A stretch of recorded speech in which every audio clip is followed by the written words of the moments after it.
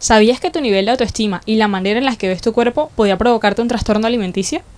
Actualmente, los problemas de alimentación constituyen una fuente de grave preocupación para la salud pública, debido a que esto causan repercusiones o efectos secundarios tanto para nuestro estado físico como nuestro estado emocional.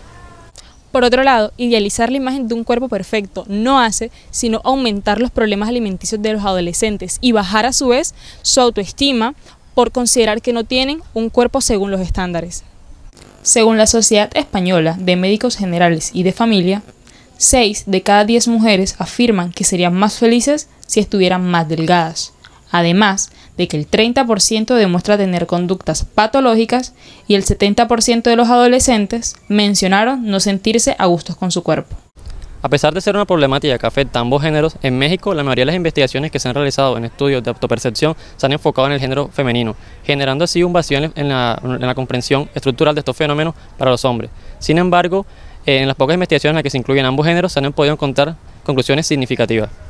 Entre estas se puede destacar que a diferencia de las mujeres, en los hombres suele prevalecer una marcada tendencia a desear un cuerpo más corpulento y a mantener algunas conductas de riesgo como la práctica excesiva de ejercicio y el comer compulsivamente. En esta investigación se buscó responder las siguientes preguntas.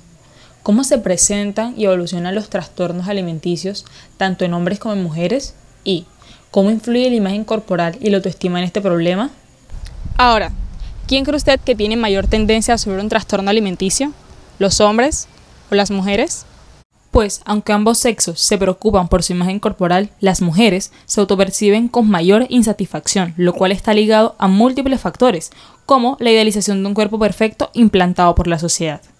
Como consecuencia, el género femenino tiene mayor posibilidad de desarrollar a largo plazo enfermedades de tipo mental, ligadas a su conducta y hábitos alimenticios, por otro lado, los investigadores han demostrado que la imagen corporal es un buen predictor de los trastornos alimenticios, es decir, a mayor insatisfacción corporal, mayor riesgo de presentar estos trastornos.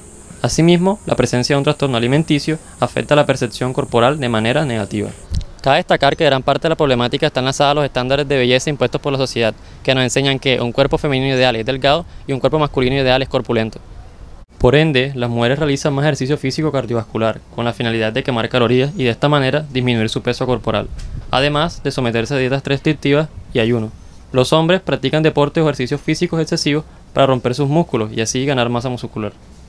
Ahora que sabemos que existe una estrecha relación entre tu nivel de autoestima, tu percepción corporal y que uno de estos factores son los estándares sociales, ¿qué harás al respecto?